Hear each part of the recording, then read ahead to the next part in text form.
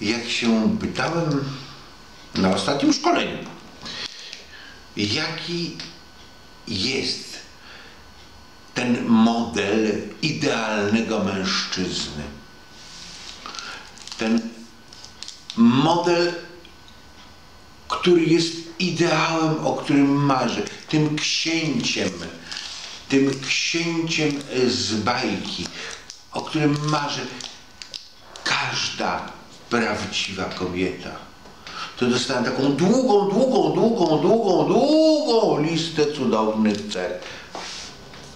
Oczywiście męski ma być, oczywiście ma być zgrabny, oczywiście ma być przystojny, oczywiście ta lista cech jest księcia. Jest taka długa, długa, długa. I potem zapytałem się, no dobrze, a twój partner, z którym aktualnie jesteś, ile z tych cech, które wypisałem na tablicy, posiada? I zaczęliśmy podkreślać te, które posiada. To się okazało, że jest ogromna różnica przede wszystkim w ilości cech między księciem z bajki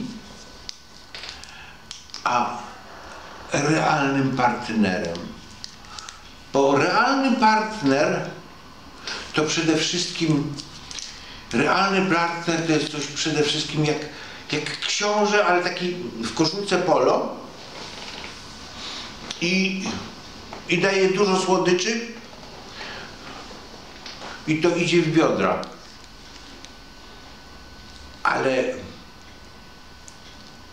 istnieje coś takiego, że ten książę Polo